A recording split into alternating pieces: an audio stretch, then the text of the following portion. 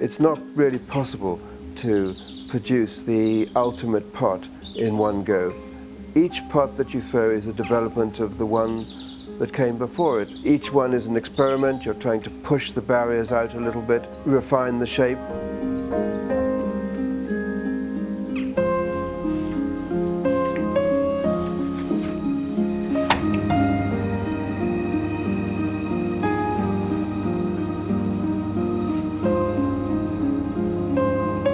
Use shapes that are used by potters all over the world. Shapes that, that occur over and over again, and each time we make it, it's new and different. As you work, as you throw this board of pots, your manual skills improve, the form improves, the liveliness of the pot, the vitality in the pot, the life of the pot improves, they become more and more spontaneous so that by the end of the day, after throwing 20, 30 pieces, you're producing a pot which is much better than the first ones that you made.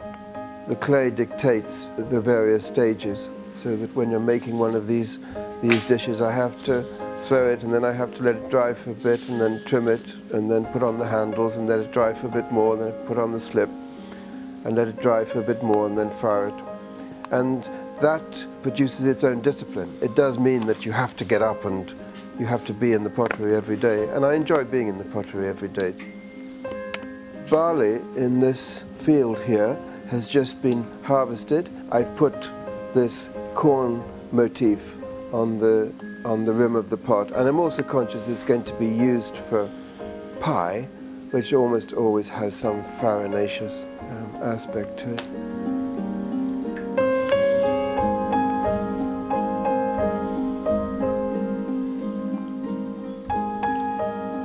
Dig clay which I mix with wood ash and straw ash and I burn rhododendron and birch in the boiler that heats our house and produce single species ash and make glazes out of those.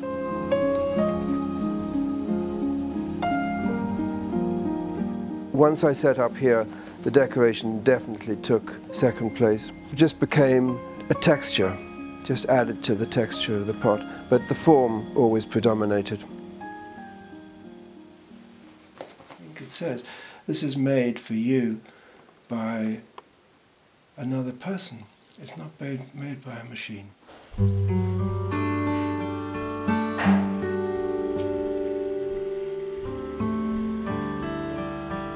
I fire the kiln maybe every two months, so that's quite a long cycle.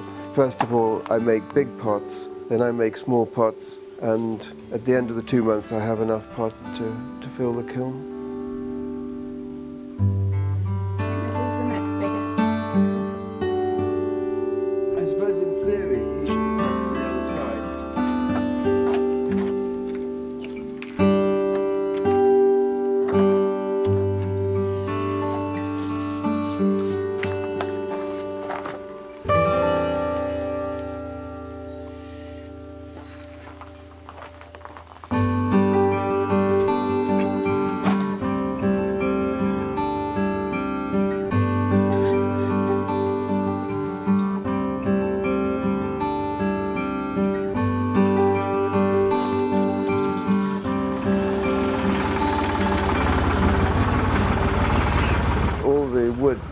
Is used to fire the pots comes from within half a mile of, of the pottery.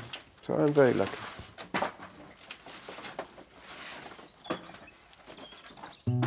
As time goes on, you benefit from the disasters that you experience. So you do become more and more precise in the way that you fire the kiln so that I don't just chuck in wood and hope for the best anymore. I'm very careful now.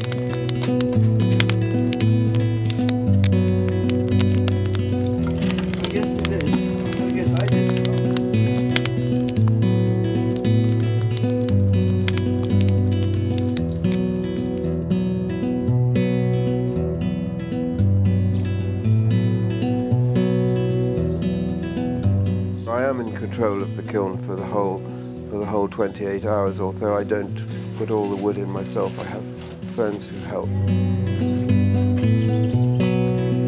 Chance still plays an enormous part. I never know really what's going to happen. We're not really masters of the kiln. The kiln is the master.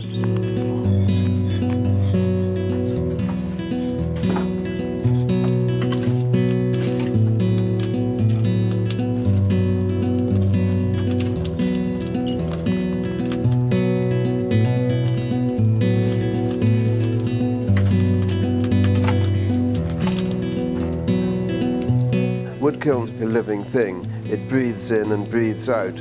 So you stoke it and it goes into reduction. Lots of flame comes out of the chimney.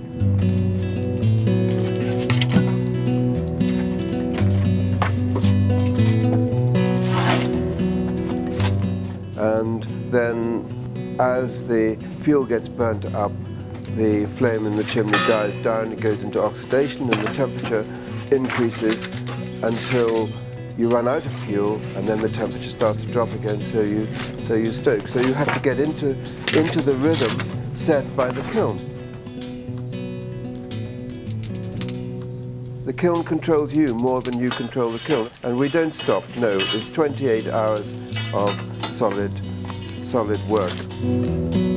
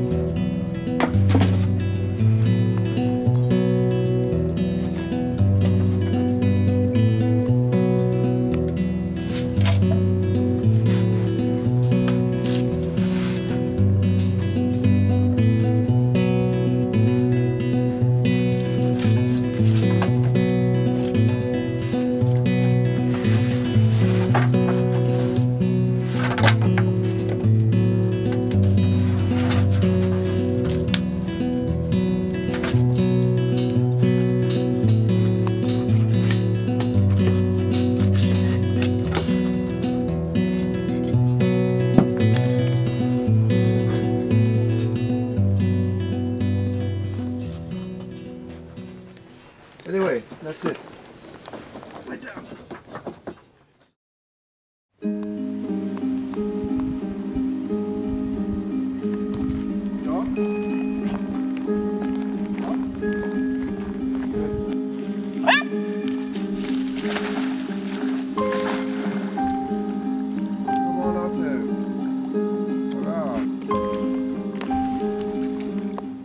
These are the colours that I see in the Scottish landscape, what appear to be browns. They're not really just browns, they're greens and yellows and they're rich colours. You can see them if you look at bracken in the autumn when the bracken is just changing colours. It, it, it's just, it's brown and green. I do take my inspiration from the Scottish landscape and that's what allows me to carry on making pots which are quite quiet and where I use a lot of earth colours.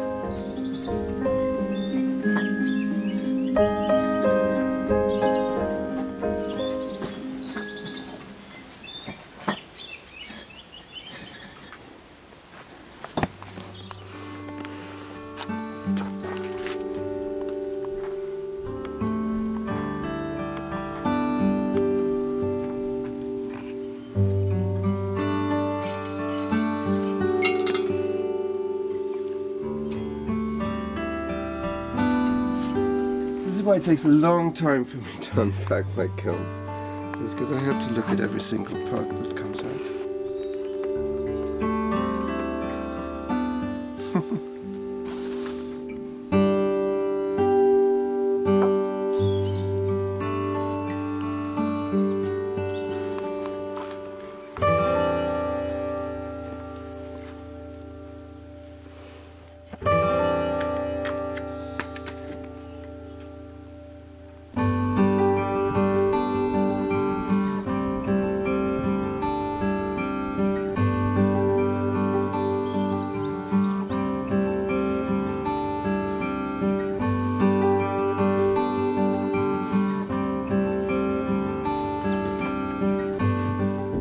Interested in having a quality of humanity in my work.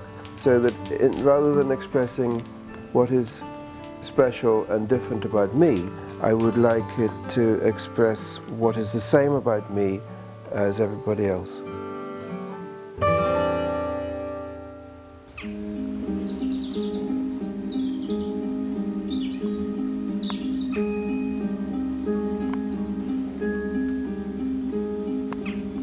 All my pots, well most of the pots I make are for use and that is important that I think people, a lot of people find it easier to relate to art that is useful.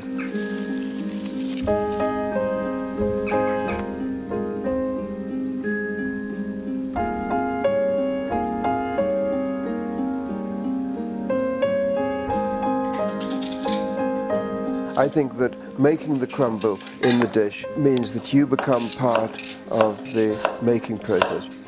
I buy my clay from a man in Cornwall and I turn it into a baking dish and I dig clay down at Spynie and make this glaze. Then we fire this in the wood kiln and I have help to do that. And then somebody else makes the crumble and so they become part of that team as well.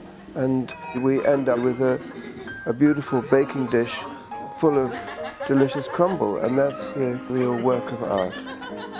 I like to think that the best of my pots have a message for the person that uses them. They talk of humanity, that they talk of warmth and friendliness. I hope that the person who uses them knows that they've been made by another human being with love in their heart.